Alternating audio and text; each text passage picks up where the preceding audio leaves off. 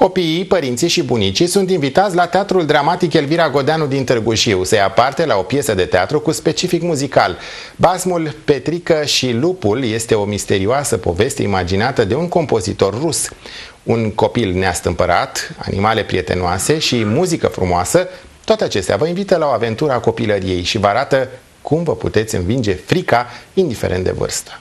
Basmul sinfonic Petrică și Lupul este o misterioasă poveste imaginată de compozitorul rus Sergei Prokofiev. Petrică locuiește la marginea pădurii împreună cu bunicul său care nu-l lasă să meargă în pădure de teama jivinelor. În schimb, acesta îi citește o mulțime de povești, chiar și pe cea despre lupul cel fioros. Spectacolul Petrică și Lupul și Lupul uh, este un spectacol cu specific muzical.